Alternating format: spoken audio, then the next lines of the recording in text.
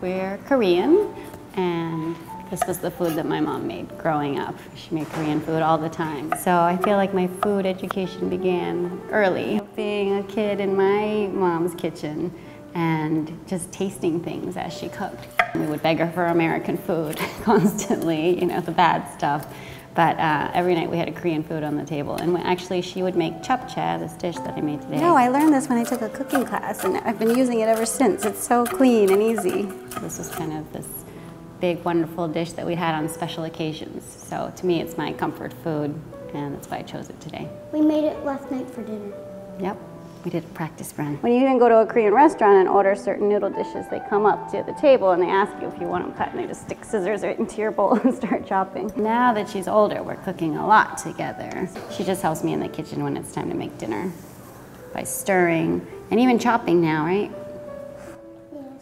Sometimes.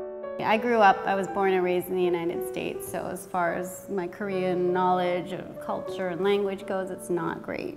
Um, but I want to pass down what I do know and what I, what I have really taken from my heritage is the food. So that's definitely something I want to pass down to my, my children too. Mmm,